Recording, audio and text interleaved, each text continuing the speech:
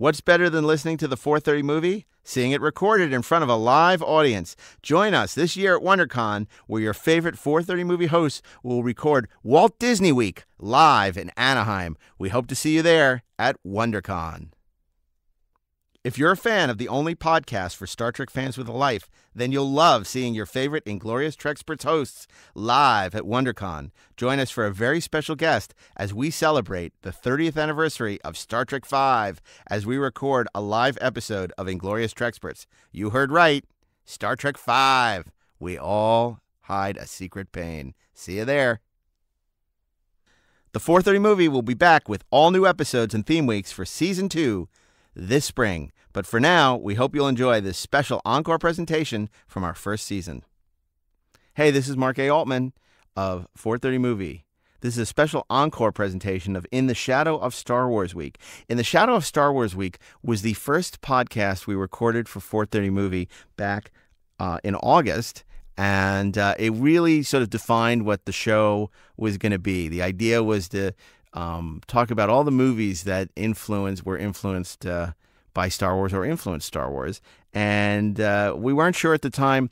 You know, would anyone respond to this format? You know, what were they going to think? I mean, 430 movie was an idea. We knew Ashley, Daren, myself, and Steve. We knew we wanted to do a podcast, and we had done two pilots. We jokingly call them the Cage and Where No Man Has Gone Before because we completely changed the format with uh, In the Shadow of Star Wars Week. And the idea was to take, as you know now, uh, the 430 movie of our youth and program theme weeks a la Planet of the Apes weeks, Monster Week, uh, Sci Fi Week, and um, create theme weeks that never existed. And so uh, it was only appropriate that we start within the shadow of Star Wars Week. We had a ton of fun. And uh, thanks to our many listeners, a great audience, there were a lot of suggestions, things that we missed, stuff like Star Crash with Caroline Munro um, and uh, uh, a bunch of fabulous uh, suggestions. But um, the one thing that came out of In the Shadow of Star Wars Week was how clear um, that this was a great format for a podcast. Um, we really, I think, we're on to something. And, you know, uh, if this is your first time listening to the show, uh, hopefully you'll have as much fun as we had recording it because one thing we do whenever we get together to record these podcasts is have a ton of fun. So uh, now enjoy the special encore presentation of in the shadow of star wars week. We'll be back next week with another special encore presentation but we'll return with all new episodes of the 430 movie this spring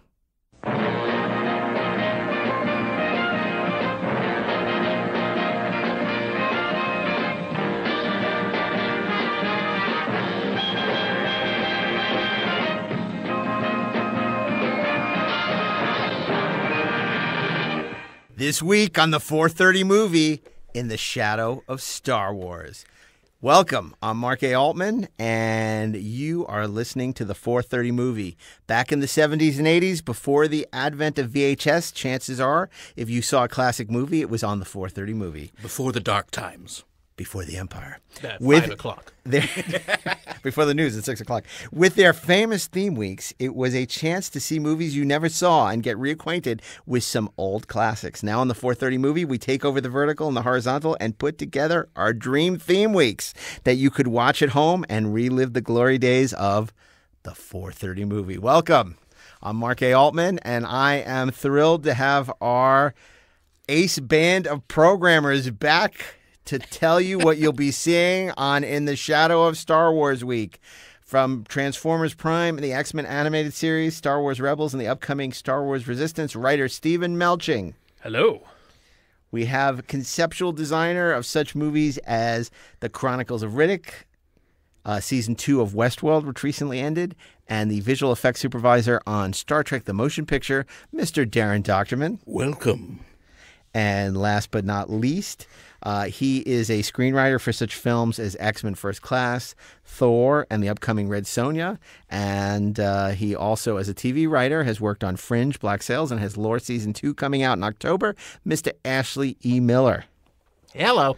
And I'm. Uh, I'm Mark A. Altman, a writer and producer for such shows as The Librarians and Agent X, as well as the author of the upcoming Battlestar Galactica oral history, So Say We All. And uh, I'm uh, thrilled to be here on the new installment of the 4:30 movie. So how does this work, guys? The basically the 4:30 movie would have these theme weeks: Planet of the Apes weeks, Classic Sci-Fi week, uh, uh, Shrunken to Microscopic Proportions week, Godzilla week. And we would find out about it on the previous Friday. That's right. Previous Right, Fridays- right, exactly. You Yeah, find out. Next week, uh, it's Ape Week. Unless you got TV Guide, uh, Right. you know, on Thursday, and it said, you know, it's like, oh my God, Planet of the Apes week. I am rushing home from school. So we are taking it upon ourselves to um, program all new theme weeks that you can uh, create at home through home video, uh, through the DVD, Blu-ray, streaming, whatever. But uh, these are weeks that we are taking over. We're p- programming the uh, these dream theme weeks, and this week we're going to do in the shadow of Star Wars. What do we mean by the in the shadow of Star Wars? Well, after Star Wars came out, it was a huge influence on uh, a series of films that all came out wanting to capture the success and uh, uh, creative highs of Star Wars. Some failed, some succeeded. And we're going to program some of these great Star Wars imitators this week because, of course, the 430 movie couldn't afford to license any of the actual Star Wars movies. So instead, we will be uh, uh, showing the imitators this week Monday, Tuesday, Wednesday, Thursday, and Friday. So we're assuming that this isn't a week that was broken up by the ABC After School special. Son Special. of a bitch. You just took the words right out of my mouth, although I was going to say, and we're not preempted by the Mets this week. So, uh, but uh, yes, we're not preempted. It will be five movies. And how we do it? Well, we're going to all talk about films, and then we will decide uh, what those final five, the final five, uh, are, are going to be. Um, and uh, so I'm going to start with Steve. Uh, you know, programmer number one. What, what, what, what do you think? Uh, what, what, what would you like to see on the 4:30 movie this week?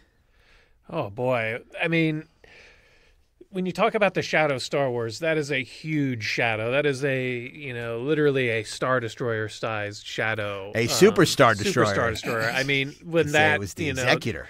That opening shot of Star Wars changed everything, and um, it. I've never heard that before. it made a whole generation of people of kids especially just crazy for that kind of entertainment it was we we didn't you know some of us were primed uh, uh, raised watching things like the original star trek or planet of the apes there was some uh, you know there was some science fiction uh, content out there but nothing that came together in such a just overwhelming and spectacular way on the big screen as Star Wars. And so, of course, you know, Hollywood being what it is, uh, they wanted to ride that coattail as as long as they could and uh, try to cash in. I think there were some long gestating projects that suddenly had new life um, if they had a, a spaceship in it or some kind of genre content. Well, it's interesting because you had two types of, of these in the Shadow Stars. You had these big budget studio things that were trying to cash in, like we'll talk about Battlestar Galactic, I'm sure, you know, or uh, Roger Corman, who who had made a career out of knocking off a popular trend with films like Battle Beyond the Stars. But then you had these foreign imports, like Message, Message from Space or the cl- Canadian classic Starship Invasions, which were just like any distributor that could get their hands on a Star Wars, something that was vaguely Star Wars esque, got thrown in a theater somewhere. Right. And uh, it's the equivalent of what direct to video is now, or really direct to Netflix at, at this point. Um, so, Steve, do you have a film in mind?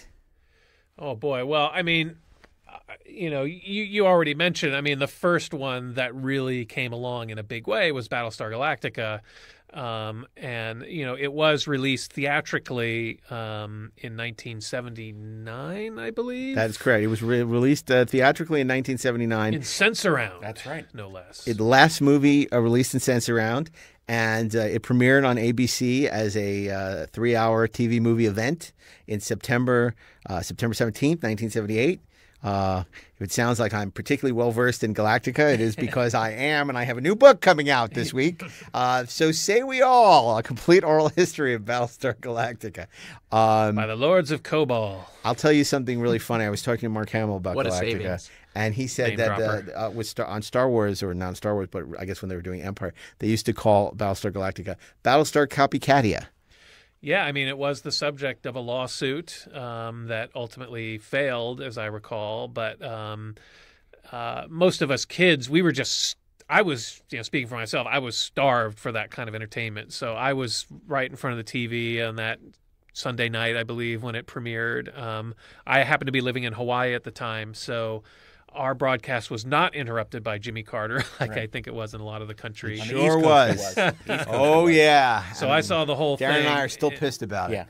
Yeah, and Stupid you know, Middle East peace. it, it, it's uh, it, it, you know it's funny. My my relationship with Galactic is kind of interesting. I uh, I loved it when I was a kid. I've always thought it was kind of cheesy, um, and now that I'm revisiting it, it's cheesy, but it's it's solid for the most part. It's a fun show. Uh, it has some wonderful designs for the uh, star the different spaceships. Uh, some of them designed by Ralph McQuarrie. Um, uh, John Dykstra did the visual effects. Uh, he left uh, Industrial Light and Magic to Was pushed. was pushed.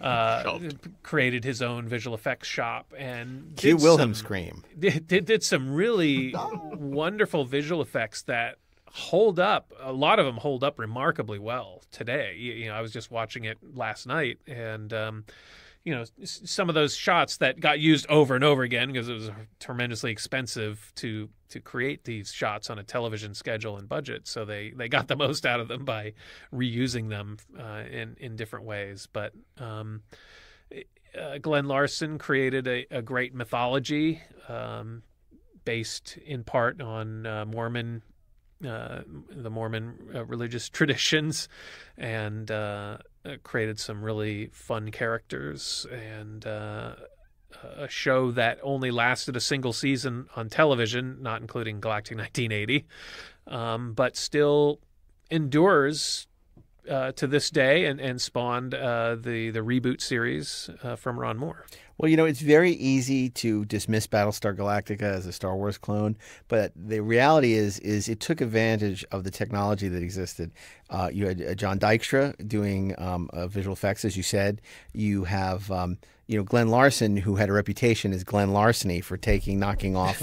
Um, concepts from movies, successful movies, and turning them into TV series. Now, if you take Glen at his word, he actually had a concept called Adam's Ark, which was about a bunch of humans migrating into the cosmos looking for a new home that he flipped and turned into Battlestar Galactica. But Battlestar Galactica, unlike Star Wars, was about a family. It was, uh, you know, it was certainly a much more depressing concept than interstellar genocide. Um, so I feel like uh, Galactica, if you look at it, um, it's very easy to sort of dismiss it as a lightweight Star Wars ripoff. But when you take the time to look deeper, you see there's a lot more going on there, including Sensurround, than um, uh, than you might uh, notice at first blush. I've always said that unfortunately, Galactic has the reputation of being the Rodney Dangerfield of sci-fi. You know, it never got any respect. But uh, I, I think it's a very special series. I think it had a great cast, had a great concept, and you know, um, if it wasn't always uh, perfectly executed. But again, we're just really looking at the uh, the movie, Well, the, the premiere. Yeah, they, I mean, they did their work on that. They really created. You know, they they think they spent a fair amount of time creating an interesting mythology for the show. It wasn't just a a straight ripoff. They created the whole idea of the twelve colonies and their their religious traditions Well, and their- spirituality was something very new for a sci-fi uh, show. You very rare. I mean, you could say the Force and Star Wars, but it was definitely Glen Larson's Mormonism that was infused with that series, and so it brought in the horoscopes, the Geminons, the Pisces, and all that. But also, you know, the Lords of Kobol, the Council of Twelve. Um, so there was a lot going on there. put thought into it. you know, but then you also it. had a robot dog, which sort of negated a lot of it. Played by a monkey. Played by a mon- two monkeys, actually, Evie and uh, I forget who the other one was. Um, Were they both in the dog at the same time? No, no, one, one they, they, they, the right tool for the bad. right job. Apparently, Evie was a little more friendly. Not friendly, like a horse costume. but uh, you know, apparently they, they all got scared from like the squibs and the explosions and like shooting fire in space. It was hysterical because So you had like this monkey in a robot dog suit think running that- for that'd its be- life because squibs are going off. pooping itself. Let me Pooping ask you, you itself think you think that'd suit. be the kind of actor that put doo doo in the costume? Possibly. I just think what, what's really funny is you know you look at some of the people that ABC was originally considering for Starbuck, people like Don Johnson, and you can't imagine had had they had they been been ca- and and, and also uh, Barry Van Dyke, who eventually was cast in Galactic in 1980. Um, but Dirk Benedict is so great, and ABC didn't want to hire him because they didn't think he was sexy enough. I'm not going to argue. Well, don't forget that Don Johnson at the time was like the Don Johnson of the A Boy and His Dog era. Yes. right. Right. Um, So he was completely uh, equal to Dirk Benedict. yeah, I in mean, every they way. were exactly the same. Well, yeah, because he had done the Clonus horror, and Dirk Benedict had done. Oh, right. But you, but you can't even say. Which we'll do on Snake Week on the 430 movie, along with Anaconda and. Uh, I, I think that uh, what you And said Raiders. about, about Battlestar kind of getting the, the short shrift is uh, from I, I think at the time, critically, I think is is is pretty fair. I don't think, um, I, I never thought that it was a Star Wars clone. Um, I always thought there was something interesting about it, and I think there were interesting things about that show that the that the reboot never even touched uh, in in meaningful ways. I thought that the most cool thing in that show was Count Iblis. I loved that he had the same voice as the Imperious leader, and just all of that stuff was just fascinating to me. And and it seemed like there were things that could just be mined and mined, um, and and never were, eh, which is sad. But by the same token, it makes me want to go back and watch it. Um, and I think as well, you know, we say, well, it was only one season, okay, but it's 1979. One season is what 26 episodes. Yeah. 26 episodes would make it the longest running show in the history of Netflix. and I mean, the equivalent of three seasons now. Yeah, yeah. that's and right. its numbers, its audience numbers, probably like would if you took Game of Thrones, all the seasons of it with all the viewers wouldn't of Game of equal Thrones, what wouldn't- Battlestar Galactica's premiere number. Not even close. Yeah, yeah, yeah. That's a really, really good point. Uh, no, I mean, let's look, not forget the score. The Stu Phillips Right. score is Stunning. wonderful. Terrific. beautiful. you know, they wanted a Williams score. They got a Williams score, and then not a lot of people can do John Williams. And Stu Stu Phillips did something pretty remarkable. I think it's great that you mentioned Count Iblis. Of course, uh, Patrick Macnee played that role, and uh, Ron Moore had actually toyed with the idea of bring uh, doing Count Iblis in the new incarnation. They just couldn't crack it, and they abandoned doing Count Iblis. Although I think. If you look at what happens with Starbuck, there are echoes of The white ship. And, of the light ship and and and and those uh, the the entities, whatever they were in in in War of the Gods, which of course is really I think uh, the shining moment of the apex of, of Galactica is that War of the Gods two parter. Yes. Although you could argue Living Legend, but I, I think War of the Gods has a little more going on um, than than Living Legend, which is also a great episode, which also could potentially be programmed on this because Mission Galactica: The Silent Attack is two galactic episodes cut into a theatrical movie. It's it's Living Legend and Fire in Space. So that would be eligible. Although I I I imagine you are suggesting that we show the Battlestar Galactica telefilm in Sensurround Yes. on television. Look, no, no, because you remember when um, I think it was NBC showed Earthquake, and you could watch it in Sensurround by listening to the, it on the radio in concert with Simulcast. simulcast. It was simulcast on the radio. So when Earthquake was first aired on NBC, they made a big deal. Watch it in Sensurround and you would have to tune into the simulcast on the radio to get the Oh, uh, the great. bass to get the uh, the, never the bass channel. Wow. Oh yeah, I did it. So I remember. Was, I, I did see Half-assed Galactica in Sense. Around uh, that summer. Absolutely, I, I was a huge fan. You know, So I- your nomination is is Battlestar Galactica for Sure. Monday. Okay, we'll we'll come back to that and see if everyone agrees. Tuesday, Daren. You know, I think I I'm gonna go a little higher rent um, because I think one film that absolutely uh, came out of the success for Star Wars is Buck Rogers in the 25th century. no. Although I'm sure it's coming up. Um, Alien. Alien is a direct descendant of the success of Star Wars. We're gonna have to cut that to shreds though when we air it on broadcast TV. Well, not now. you can show anything on broadcast TV now. Um, but it's it it was definitely. I mean, it, was started out in development as a a B picture, a very low budget sort of uh, knockoff sci-fi thing that would have been you know in the drive-in movies.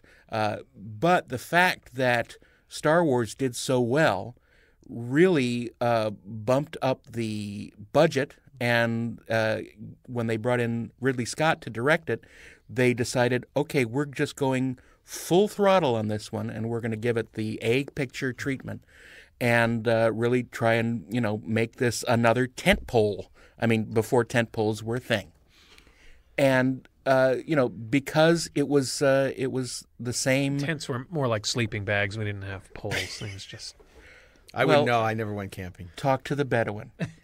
um, but uh, the thing was that the the administration at Fox was the same. It was Alan the same Jr., group. yeah. Yes, Alan Ladd Jr. Um, greenlit this one, and uh, you know it was two years after Star Wars. It came out in 1979.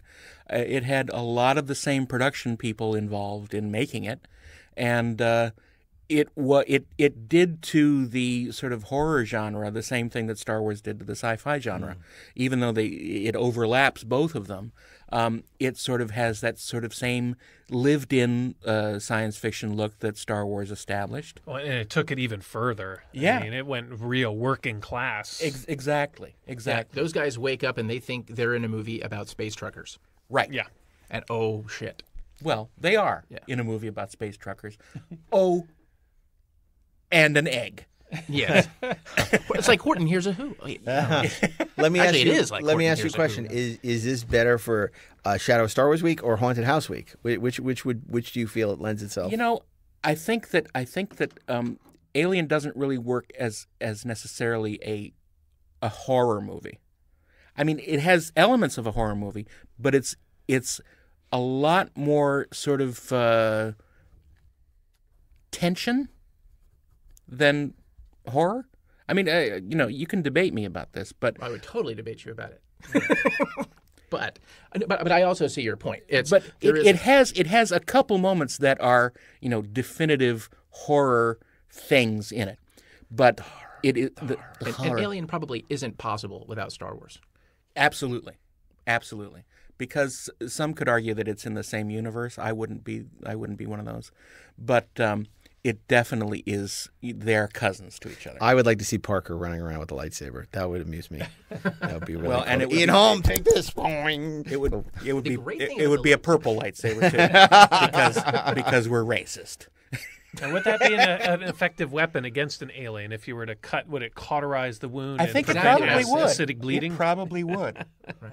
Wow. Jedi Although versus Pa- aliens. Ponda Baba's arm is bleeding, so well, we could see it because now that Disney is buying Fox, they will Oh my own God. the Alien The franchise. Star Wars I wanna Alien see Jedi team up. fight Exactly. aliens. Alien Exactly. versus Jedi. I, Yeah. That's so awesome. and Jedi Let's will go be pitch that just right as, now. oh my Jedi god. will be yes. just as useless against aliens as they were against Palpatine in the prequel. Well, I mean, the guy's wearing a freaking hood. They didn't know it was freaking uh, Senator Palpatine under there. well, the alien's hood would be a lot longer.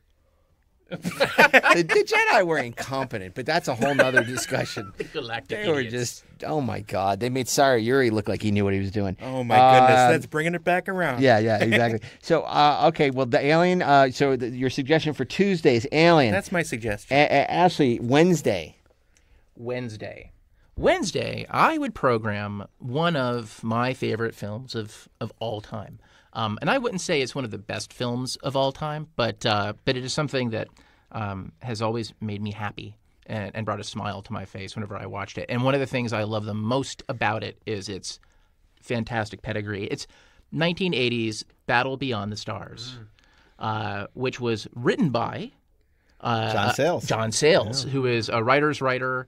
Um, wrote Not to be Lone confused Star. with Black Sails. Right, exactly, which was the show I worked on, and spelled completely differently. Right. Um, but no, but but John Sayles, who's a real a real writer. Um, it was uh, James Horner did the score. Yeah. Pretty much the same score that he did for Aliens and for Star Trek too. But it, but it works. It works every Park. time. And Gorky Park, it works every time. Jim Cameron was brought in to do special effects for this movie. Yeah. On the recommendation of Gale Anne Hurd. Yeah. Right. Right.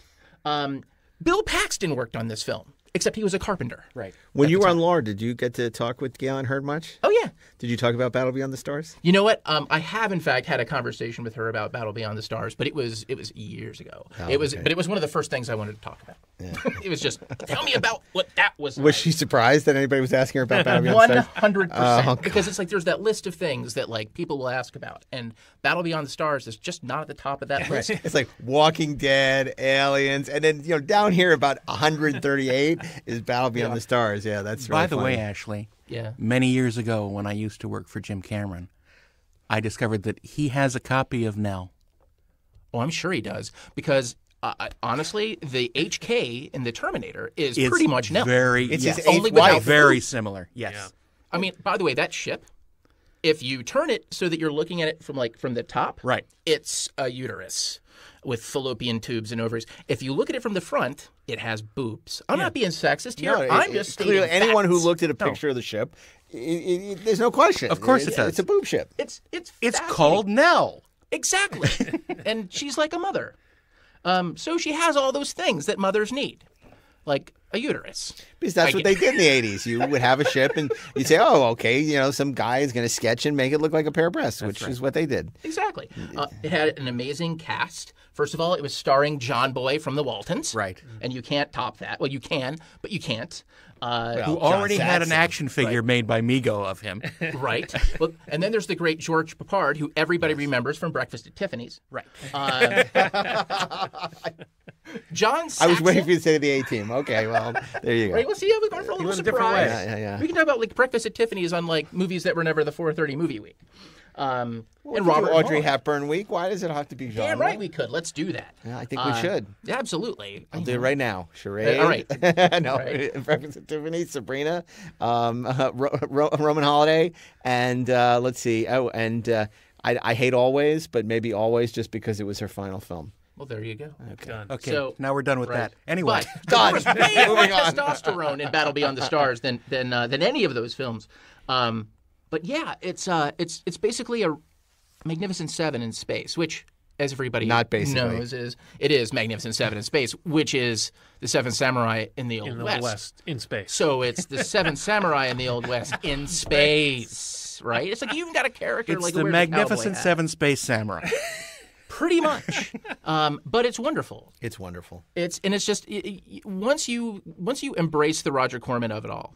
I mean, and we could probably have a whole conversation just about Roger Corman. It's Roger Corman week on the You 430 could movie. easily you could do weeks and weeks of Roger Corman and the people who came out of um, the Roger Corman quote unquote We'll, we'll, school we'll, we'll of do that. We'll, I'm sure we'll get to that.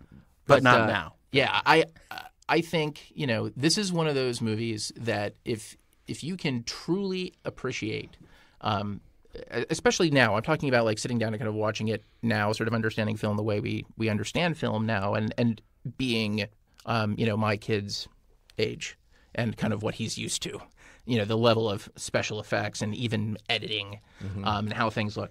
Um, that you realize there is just there is so much passion for the film in the filmmaking. They're making this this crazy little sci-fi Star Wars knockoff, and everybody seems to be having a great time. You know, and nobody seems to be phoning it in. It's just it's lovely. It's so unpretentious, which I love about it. You know, unlike today where everything has to be, you know, so Well, things were eh, a lot more sort of earnest back in those days, and, and I miss that. You know, I, I, so many filmmakers these days just want to be too cool for school, and, and they're afraid to show these kind of real emotions and, and be. Well, and they're afraid of the content of the film. Yeah. They're they're afraid of being pigeonholed into a genre, uh, and they, they, there's just too much fear. Fear leads to anger and hate and all that. Anger stuff. and hate the lead to Star killer. Wars prequels. That's right. Star Wars prequels death. lead back to anger and hate. Weird. I need my fear. and over to Battle Beyond the Stars. brings total obliteration. And even that name, it's so over me. pulpy, and every aspect of it is pulpy in a wonderful, you know, wonderful way. And I think Shout Factory put out a delightful uh, Blu-ray of it that you know has some special features. And uh, you mentioned it earlier, but we can't say enough good things. As much as we joke about James Horner ripping off everything from Alexander Nev- Nevsky to you know every score he's ever done, it, it, the, his score for Battle Beyond the Stars, you know, people say, "Oh, Star Trek Two is such a great score." Battle Beyond the Stars is a better score. Yes, it is. And it, it Yeah. was, and it was right when he did that in Humanoids for the Deep. Well, this and was those are both this was a direct amazing rip scores. off of Star Trek: The Motion Picture score. yeah, I mean, like measure for it's measure, so and it's good. it's really good. It's really it's good. so good. Is that, is that score available? Uh, It oh absolutely yeah, is. yeah, yeah, It for is, sure. Yeah. It's a great And score. Battle Beyond the Stars was just uh, released um, in HD on iTunes the uh, the second week of August. Okay, so if this was going to be Wednesday's film, you can download it from iTunes to, to, to program Wednesday. So Battle Beyond the Stars would be our pick for Wednesday, BBS. and uh, okay, um, and again, we, we will lock these in once we get to Friday. But right, right now, I think we're going to have a couple of winners uh, until we get to me because I am going to nominate for Thursday, In the Shadow of Star Wars. I'm I'm reluctant to say it to subject myself to um to, to mockery. It's going to be Starship Invasions, isn't it? No, as much as I love Forbidden Christopher World. Lee, that would be Alien Week. Okay. You know, because that there, there's a whole bunch of ripoffs of Alien. You know, Forbidden World, Galaxy of Terror. See that that could- Aliens. I mean, it's so funny because we could put that on on you know all. It's so modular because like Alien could fit in this, it could fit in Alien Week, and I mean there were all those. Alien ripoffs. Um, it could fit, like you said, and you know, there's so many places for it to go. But um, I'm going to nominate, and, and and it is indeed a Star Wars ripoff, self-professed Moonraker. Uh, yes. Moonraker. I should have guessed reading your Twitter feed this morning. I, I, I, I, I, I've been thinking about it. I mean, I thought about Star Crash and I thought about Buck Rogers and, you know, a bunch of these films. Uh, but I, I, I'm going to go with Moonraker because the thing about Moonraker is I wouldn't nominate it for James Bond week because it's not a great James Bond movie, but it is Shut your mouth. an incredibly entertaining, awesome, uh, fun. It, it- you know it, you know basically uh, if you looked at uh, Spy Love Me, it says uh, James Bond will return in For Your Eyes Only. But Star Wars was such a success that the producers, you know, Cubby Broccoli, decided to capitalize on the success of Star Wars. Do we have any James Bond novels that involve space in any way? Well, we have one that involves a moon, not a space station, but uh, there was Moonraker, which was, uh, you know, Hugo Drax is, is threatening uh, London with uh, an atom bomb, which of course isn't big enough for 1979, and uh, as a result. Um, uh, the, the the book is completely thrown out, um, other than the name Hugo Drax as the villain, played by the wonderful sneering Michael Lonsdale, and um, uh, and they do, uh, you know, they go. Bond, James Bond goes into space. He has a laser battle on board Drax's secret space station. Um, you have Lois Chiles as a brilliant NASA astronaut. Um, so and and Derek Meddings, it's it's it's clearly the high point of his work. Although you could argue that Spy Love Me was the high point of his miniature work because uh, the the stuff he did with Atlantis and Spy Love Me is, is brilliant. But the space station, all that stuff, they they they were so up against it in terms of um, time that. th- That stuff isn't optical printed. It's like they the way they did the the, the, the, the laser battles is is is is just Well, incredible. let me tell you, the reveal of the space station still is a thrilling shot where the you see just the, the, sliver tip- of the light. sliver Yeah, of it, yeah. and then as the sun rises over it and illuminates the rest of the station with the music building, it's it's r- r- Well, fantastic. It also has one of the great Bond teasers of all time, um, which Oh, unfortunately yes. gets a ridiculous button. But it's it's it's where James Bond is pushed out of um, a plane without a parachute, and then in mid dive steals the parachute from the other the antagonist, and then Jaws comes after him, and they fight in midair. And it's great up until Jaws, the Richard Kiel Jaws, not the shark Jaws. Although, if it had been the shark, this time it's personal. and uh, he, uh, you know, and then Jaws, unfortunately, um, uh, uh, flaps his flaps arms his arms and ends up uh, crashing into a circus tent uh, to the music, the caly- calypso music, and it just sort of it's a dead.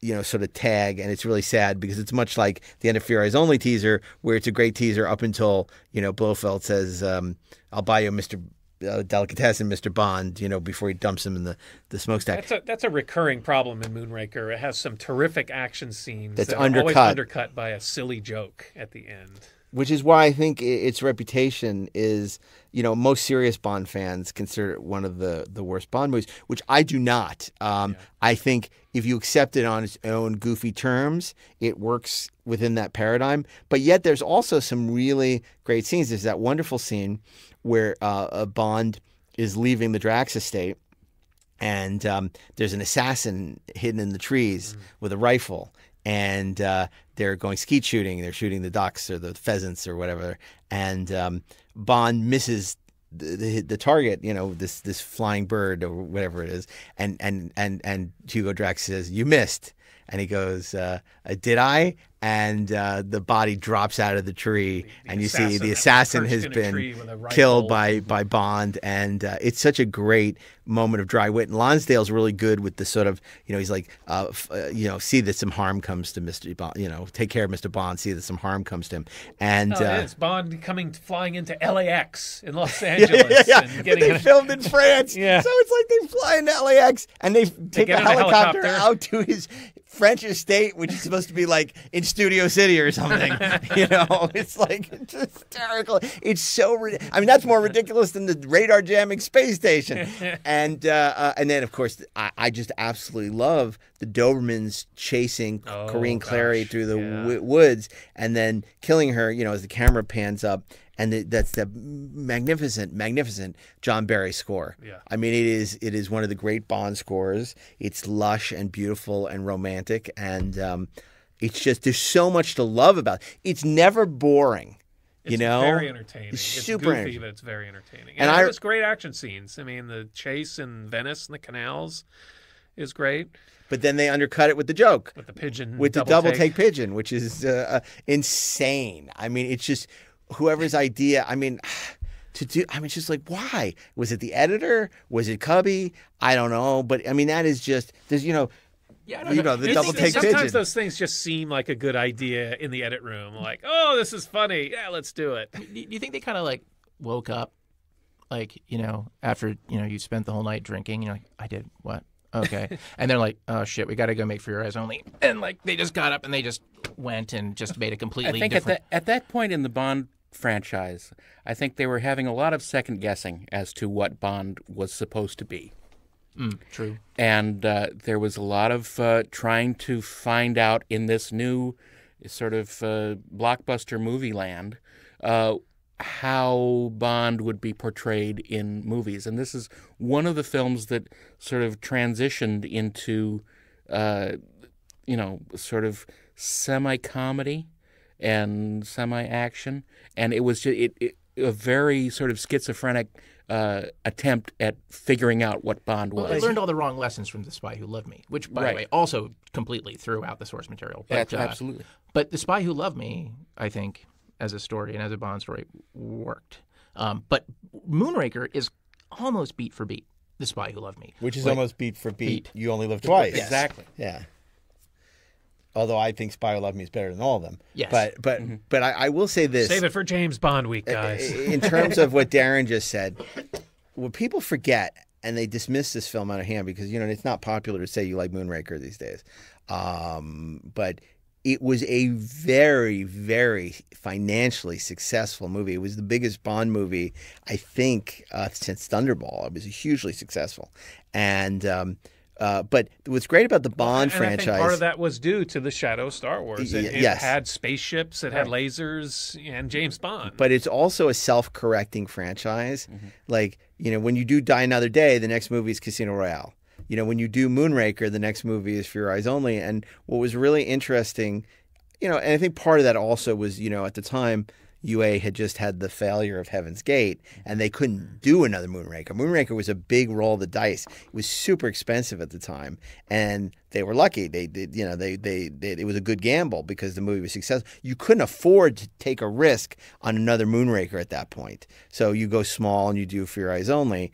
Um, but uh, you know, it's really interesting. When you look at the history of the Bond movies, that when they tend to get big, then they, they bring them back to earth. In this case, literally. Um, I don't think you could have continued to go in that direction of Moonraker. You know, now. Uh, you know, uh, until Disney acquires the rights, where they go to the, you know Bond in the Star Wars universe, apparently. But uh, I, I I think that um, I think that's what's so great about the Bond movies. And again, that's a conversation for probably another week. But yeah, Moonraker is my nomination for In the Shadow of Star Wars on Thursday. Well, w- w- I mean, what are some other films? We there's one big one we haven't talked about at all. Um, Star Trek: The Motion Picture. Star Trek: The Motion Picture. I don't one. think that's a Star Wars ripoff. I think that's a uh, 2001 ripoff. Well, I don't It- think well, it's a ripoff. it's not but a I, I- ripoff. Yeah. I shouldn't say but ripoff. it exists It's the wrong because word. Star Wars existed and was Well, that's an interesting thing, Uh, because the you know the the the popular story is that Paramount saw Star Wars open. and They said, "Oh, what have we got that is like spacey?" And they said, "Well, we have this Star Trek thing." Um, that's not exactly what happened. What actually happened is that Star Wars opened, and the uh, people running Paramount said, "Oh, well now now we'll never be able to release Star Trek because the the market is gone." Everyone has watched uh, Star Wars and, and everything, and so we're just going to go on with our with There's our no future in science with our, fiction. yeah. There's no future now because Look at it's all the been money they're making. How- It's dead. But, but wait, How, how far along were they with phase two? Was that done at that point? it- they they were in into doing phase two for, For the television. Paramount for for television. Correct. What happened was, in November, Close Encounters opened and did huge, and uh, Charlie Bluhdorn, head of Paramount and head of Gulf and Western, said, "My God, that could have been us." Right. and that's when they said, "Okay, we're we're we're pulling the rails on this thing, and we're going to do the motion picture." And that's how that happened. Well, and also they were very unhappy with the succession of scripts, everything from Sure. uh, uh, Phil Kaufman's script. But you know, when the In Thy Image script was written for uh, Phase 2 Mm-hmm. It was the first time that they were relatively. Michael Eisner was relatively happy with the script for a Star Trek project, Right. And and and that you know, you know also along with the success of Star Wars and Close Encounters, you know, and I think you also have to remember you know, phase two wasn't just canceled because of that the Hughes network didn't happen. Right. It was supposed to be the cornerstone of a new network, and they couldn't put it together. They couldn't get the network uh, uh, make it work. So basically, that was going away anyway. Yeah. So what do we do with it? Do we do we piss away all this money we spent on and they spent pre-production? for ten years Yeah. developing various incarnations. of and Star Trek. they were building sets. Yeah. They didn't know that Robert Wise was going to come on and throw out everything that was built. Yeah. Uh, they figured, okay, we got these sets. Let's do this low budget movie with Bob Collins. right. you know, and and and uh, we'll we'll at least you know salvage this investment. Because at the time it was going to be what a ten million dollar movie. Right. Wow. Well, that's the thing. I mean, Paramount was hoping for a response to Star Wars, but that's not what they got. And if you want to, They read, marketed it like a new Star Wars, and th- I think that's one of the reasons why Happy Meals. why and- it's perceived as not being successful, even though it made a ton of money. Right. yeah, it, and it did. And if you want to read more about Star Trek: The Motion Picture, The Fifty Year Mission by Ed Gross and Mark Altman, available wherever fine books are sold. Okay, so we also Well- what are some other? Well, uh, the one I was going to mention was the black hole. Oh, yeah. Disney's attempt. what to a catch wonderful it. suggestion.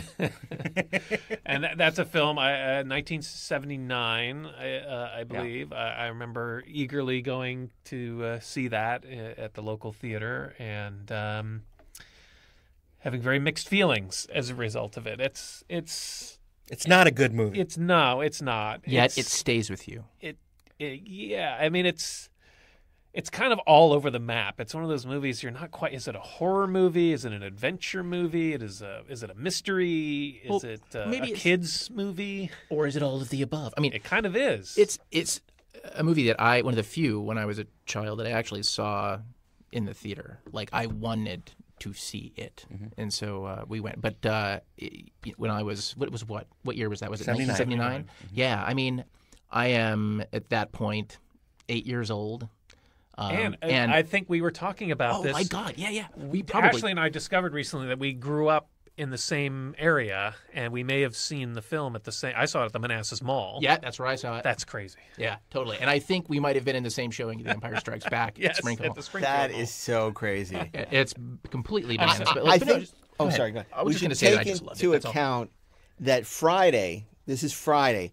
We sort of need the chaser, you know, for the week. And in a way, I feel like Black Hole is that it has Roddy McDowall as a precocious acerbic robot. It has Slim Pickens as a precocious, not as acerbic robot. It has you know Maximilian Schell hamming it up to eleven. Uh, a robot Anthony Maximilian? Perkins, you know, as a jittery, uh, uh, mother-loving scientist. Um, And Yvette Ernest- Mamou, expected him to go Ernest, crazy. Ernest Borgnine, because as we said before, kids love Ernest Borgnine, as And the- Robert the, Forster. cowardly Robert journalist, Forster, yeah. and, and and and and Robert Forster being a badass. In fact, at the Saturn Awards this year, you know, I, I was talking to Robert Forster for a little when we were waiting to get our tickets out front, and uh, I said, you know, I just loved you on Twin Peaks, and obviously, you know, uh, you know, huge huge fan of yours. I I have to say, you know, what next year is because I have no idea what next year is. I said it's the 40th anniversary of the Black Hole. And he was like, "No way." I said, "Yeah." I said, "What are we doing?" and he couldn't have been nicer. He was delightful, and and you know, speaking of black hole people, when um, when uh, when when Rob and I were in Cannes for, with Free Enterprise, our movie Free Enterprise with Bill Shatner, um, we went to this party for Festival of Cannes. It was a movie called Festival of Cannes. Uh, Maximilian Schell was in it, and Maximilian Schell and Shatner hadn't seen each other since they shot Judgment in Nuremberg. And so we brought Shatner in, and he was like, and, and him and Maximilian were embracing, and they were so happy to see each other, and they were talking. And Rob and I just looked at each other. Oh my God! It's Commander Reinhardt and Captain Kirk. this is amazing. And, and I mean, this is the Black Hole's a movie that's like really creepy. I mean, it's Yes. for it. Yeah. It's really But, you know, eerie. for it is like a big haunted, haunted house type movie Right. with like the crew has been like lobotomized and turned into some kind of The weird. dad, her dad, she's looking for her dad. She's like 90 in that movie. Yeah. Yvette Mimieux is like, she's looking for a dad who Right. disappeared on this ship. But, And my what- God, the ro- Maximilian, the robot, that thing was Scary. He killed it. He killed a. Uh, He killed Anthony Perkins, Anthony Perkins with- who with tried to protect rotating himself with a blades. spiral Oh, notebook. But that, he- that, but he- that horrified me as a child. Yes, Just yes. the shot is on his face Yes. as the whirling blades. But he makes through the he makes great margaritas. oh my god. Okay, okay, but you know what? You know what? We're not where we. Okay, there, there are two. There are two things which put it over the top. May I, may I, may I say there are two things that, that I think demand this movie's inclusion on Friday, and those are, in no, not in any specific order, the Cygnus, which is one of the most magnificent oh, designs because it's not influenced by Star Wars. It's this Jules Verne Yes. insanity. There's nothing about it that's aerodynamic or anything that you would mm-hmm. you but. You, it's like a haunted house beautiful in space. model. I It's mean, how big gorgeous. was that model, Daren? Like twelve feet or something? pretty- pretty It was big. massive. and, and it's, it's just and we've never seen anything like it and to this day we've never seen uh, anything that looks like the cygnus you know which is just a, a gorgeous ship. And i remember when th- you talked about the reveal in moonraker. What about when they first revealed the cygnus? when the lights come on Come- and the oh my Cygnus- god. I mean that's freaking awesome. I took my kids to see it at the new beverly and and I- I think I liked it more than they did, but they they, they really enjoyed the you know there's a lot they liked about it, particularly Old Bob because when you're you know that age, Old Bob is the coolest thing ever. Okay, now number two, same as Moonraker. Who's the hero of this movie? John Barry. Barry. John freaking Barry. And What his, a and his two minutes of music Oh, Yes. repeated my- over and oh over my and over. It doesn't matter Wonder, because it's it's terrific. two of the best minutes of music ever written for the cinema, and, And first three of the digital soundtrack. First digital soundtrack. Remember the LP? You don't because you're younger, but. Right. Um, but they, we, I remember the LP came out and, and, and stuck on the cover. It said first digital. I bought it at Jimmy's Music World. The second I saw it, first digital soundtrack. I gotta have that. I, I'm gonna, one day There's- it's gonna be worth millions of dollars. It's futurized. It's like it was beamed to us from the year and- 1982. and it's it's also uh, along with Star Trek: The Motion Picture coming out in the same year. Um, were Weeks the, the- earlier. yes, were the last uh, movies to have uh, Overture. overtures, oh yes. yeah. So and they were both recorded digitally, by the way. so The yeah, soundtrack. And they were that. both great overtures. That's correct. So and people are sitting there, why aren't they opening the curtains? I don't understand. Why aren't they showing commercials? I loved that shit. I mean, I saw like I saw both of those films in the theater, and I just thought that was the best thing ever. Just sitting there, it was like I missed it when I didn't hear it in other things. Well, and I mm-hmm. love that main title sequence with the big grid of space with the mm-hmm. music playing, and you're swooping over it, and then you see the, the funnel of the black hole and, in the distance, and you get closer, and then you spiral down into the black hole. Well, and spoiler alert, you talked about mind screwing with kids. That ending, Right? Oh, yeah. where they're in hell. Yeah. That's crazy. Yeah. The Maximilian is the devil. It's just it's astounding. Well, that's like the, You know, it's- its own 2001 sort of in, you know Yes. uh, reference where it's I don't want to spoil. I don't want to spoil anything, but you know that's that's happening in the mind of the girl.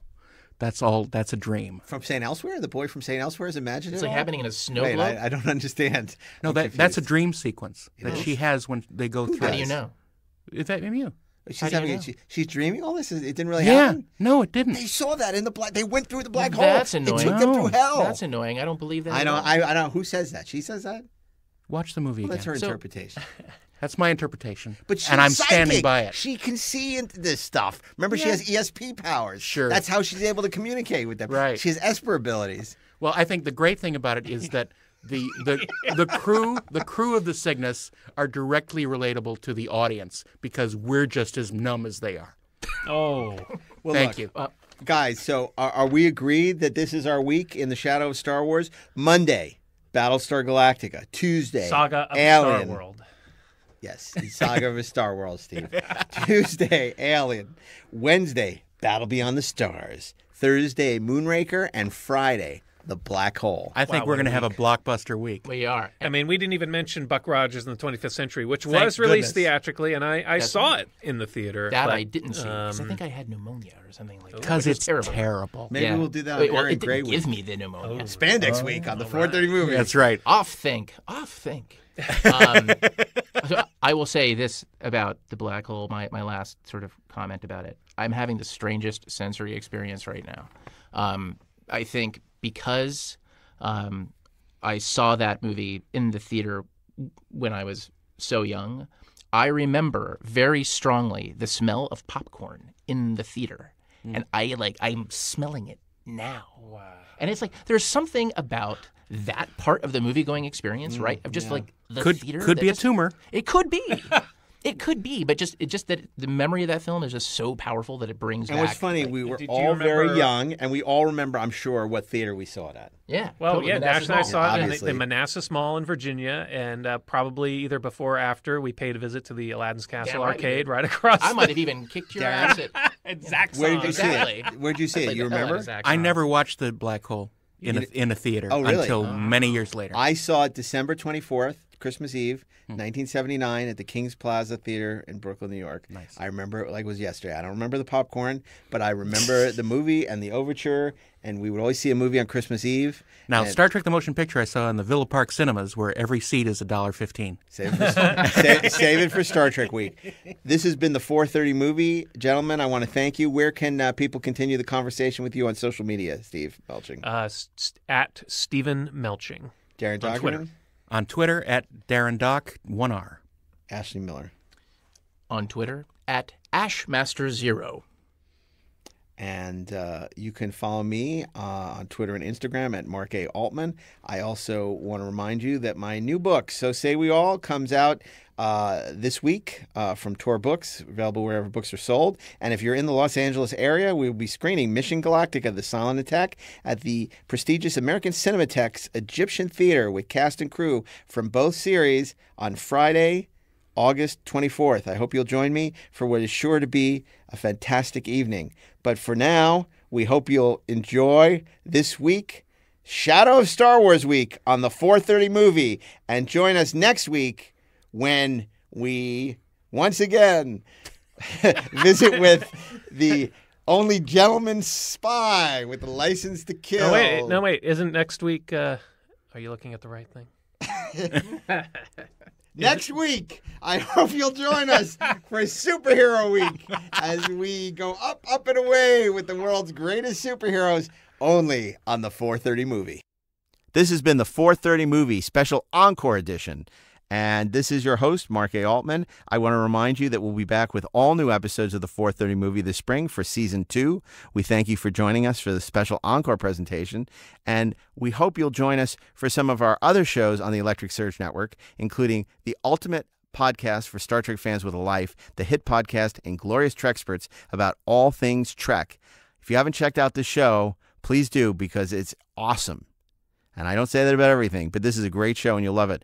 We also have, for you film fans, the best movies never made. This is Jodorowsky's Dune producer, Stephen Scarlata, and Josh Miller, writer of Sonic the Hedgehog, where every other Monday they look inside the making or unmaking of a film that never saw the light of a projector bulb with special guests, directors, writers, producers. There have been some great episodes on ET2, Night Skies, Jonny Quest, Godzilla, um, Master He-Man and the Master of the Universe with Adam Rifkin, and of course uh, Rob Burnett and myself join them as we talk about Free Enterprise: The Wrath of Shatner, the aborted Free Enterprise sequel. So some great episodes coming up. We hope you'll join us for that wonderful show. And of course, if you're a Star Trek Discovery fan, join Chase Masterson and her special guests every Sunday night as they do a deep dive into the world of Star Trek Discovery. And meanwhile, Ashley, Daren, Steve, and myself will be back with all new episodes of the 430 movie this spring for season two. Thanks for being a 430 movie fan, and we'll see you at the movies.